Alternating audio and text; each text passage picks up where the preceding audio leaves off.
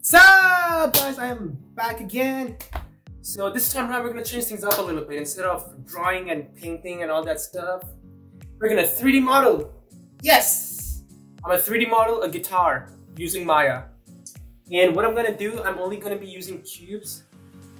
Actually, I am using, I might have to use a few other shapes, but I'm trying to, I'm trying to use only cubes and, make it work. If you don't know what Maya is, Maya is a really awesome software for 3D modeling, animation, visual effects, and like for a lot of things. Very strong and powerful software, and it's by Autodesk. Um, right now it's free, only if you're a student. Actually, so if you go to college or if you're in high school and you want to get more into it, just go to their uh, website and download the student version, and that's free, and you can learn a lot of stuff with it. Now, before I do start, I just want to make make one thing clear is that I'll be making a very low poly version. Low poly, I mean, it's not going to be super detailed. So, without further ado, we're going to start and get this bread. So as you all can see, I start off with um, a cube, and then I added subdivisions on it, and then I just started modeling and shaping it up to the top part of the guitar. I'm not sure what it's called. I have like zero knowledge of anything about guitars, like I absolutely do not know anything. Um, but honestly, this was kind of like killing two birds with one stone because this was also for an assignment for one of my classes. I had to 3D model um, a guy with a prop. So in my reference picture, you can probably see a guy standing in a T pose. So I'm done modeling him, which is the guitar that was left. So I just thought I'd do a little video on that instead. Um, but yeah, so you pretty much started with, with a cube, you shape it up, and then I deleted some of the faces in the middle, and then bridged all the edges so that it's like a whole piece and not just hollow in the middle. And uh, um, and then in the end, so I did cheat a little bit. I did use cylinders. I mean, I was gonna only end up, I was only gonna use squares and cubes, but for that middle part, I could have used the cube as well, but I just, I don't know, out of habit, I just picked up a cylinder instead.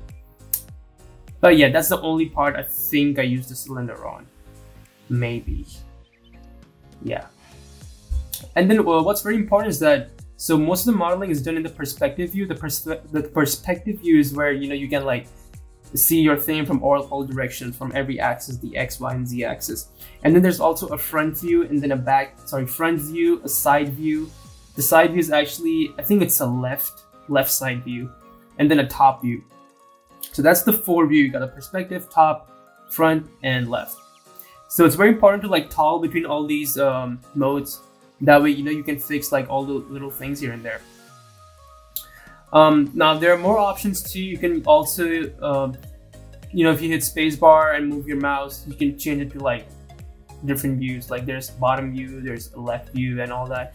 But you don't really need all that. So y'all can see, like I pretty much used the cube for everything and just shaped everything out.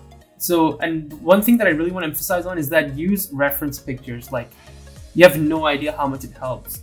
Even if, even if you're not putting it in your Maya file, if just open it on Google on your side, on a side window or something, that helps a lot. Because, you know, I don't know what a guitar looks like. I mean, I know what a guitar looks like, but I don't really know what it looks like, if that makes sense.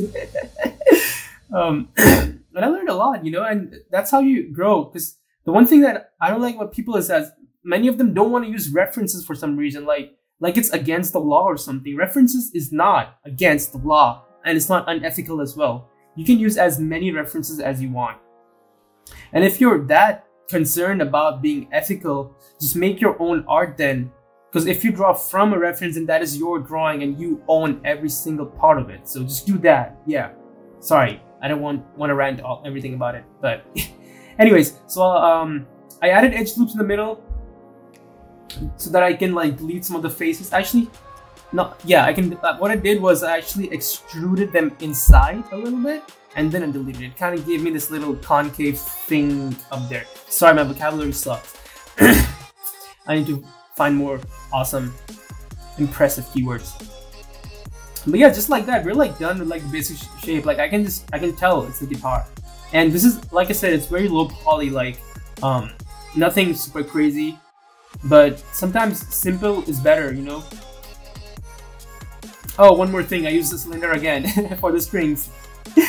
oh well, ah well, exposed. and this was a lot of fun because I, um, I it was a lot of fun like pushing in all the faces inside because I used a cylinder with like I think eight or nine subdivisions, subdivision height, and I just selected all the vertices and then pushed everything inside and then just copy pasted it. So this part was uh, fun, and then um, after putting up all the strings, it was just me fine tuning. I kind of beveled the edges a little bit so that I get like a more um, smoother look. But yeah, I'll just let you guys enjoy the rest of the video and I will be back in a bit. Thank you.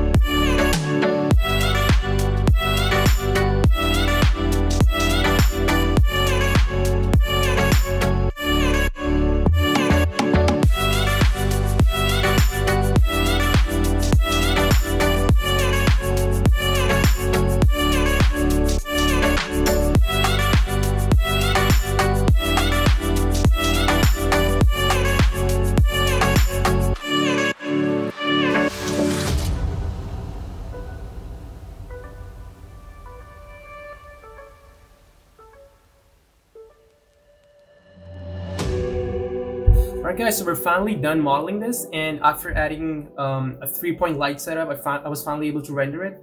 So these are these are some of the renders that I ended up with. This took um, three. So there was like a little side view, a three-quarter view, and then uh, something happened. Oh, never mind. Uh, and then I did a little close up, and then yeah, side view. So yeah, like you can see, like just using basic cube, I was able to make goddamn guitar. So the opportunities are endless and if this video gets enough likes, enough shares, and enough comments, I think I'll make I'll upload a tutorial on Maya on how to use it, or maybe use this software more than just doing concept art or designs or portraits. So let me know, let me know. And other than that, I appreciate everyone's support. I got a lot of love in the previous video that I uploaded, which you can check out right up here. And um, thank you so much for sticking around. I'm gonna try to upload a video every week. Try. Because yeah, yeah, it's, hard. So yeah, thank you so much for watching this video. I really appreciate everyone's support and I will see you guys in the next one.